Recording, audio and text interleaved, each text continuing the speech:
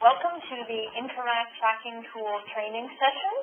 This session will be on reviewing the item summaries worksheet. My name is Dinah Bones, and I'm a project coordinator here at Healthcare Quality Strategies Incorporated.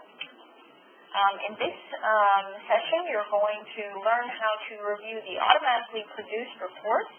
Um, we're going to get to see the admissions by day of week, um, sources of the admissions, um, admissions by health plan, transfers by time of day, clinician, and outcome, as well as transfers by signs and symptoms, as well as diagnoses or presumed diagnoses.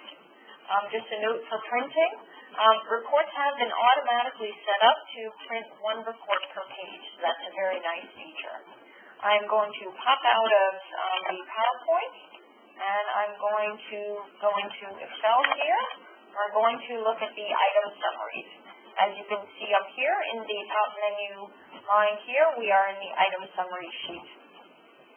First thing to um, keep in mind is that these um, admission details here are year to date.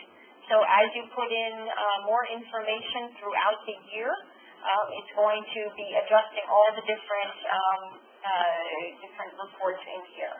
Um, so you have um, different uh, charts here, and each chart, if you scroll below it, will also provide you with the data for that particular chart. I'm going to scroll back up. You have admissions by day of week. In our case, you see that we're fairly consistent, um, and there is no particular day we're getting um, more or less patients.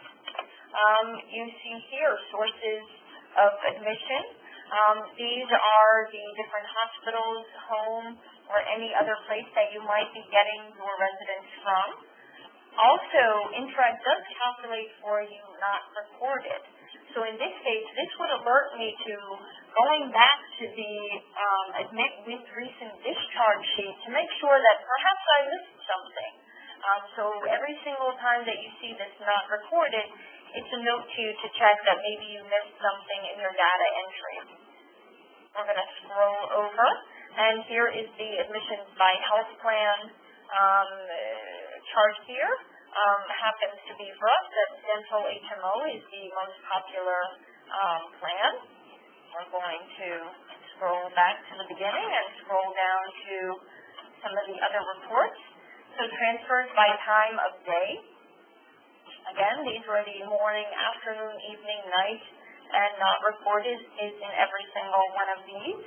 Um, you also have transfers by clinicians, as well as transfers by outcomes, and these are your ED um, versus inpatient, um, admitted with observation, and so on. The one thing that I do want you to keep in mind is that these are separate and individual charts. So the data is not necessarily linked um, from one type of criteria to the other type of criteria. So we do see that Dr. White is um, the physician who's ordering the most amount of transfers, and we also see that um, mornings are when most of our transfers are occurring. However, it does not necessarily mean that Dr. White is making all these transfers in the morning. These are two separate and distinct um, bits of data. So you can look at it just by transfers, and that's in separate and independent um, data here. And it's separate and independent when you're looking at the clinicians. Um, so if we continue scrolling down, um, here is where it gives you transfers by signs and symptoms. Um, you can see the breakdown of which are the uh, most likely um, to cause some of your transfers.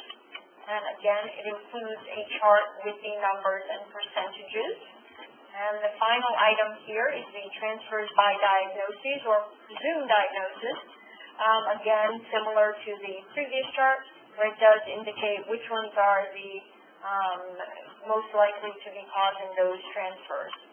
And you've got the um, data table, sorry about that, um, data table um, with the um, information by percentage as well as the counts. So that covers the item summaries uh, worksheet.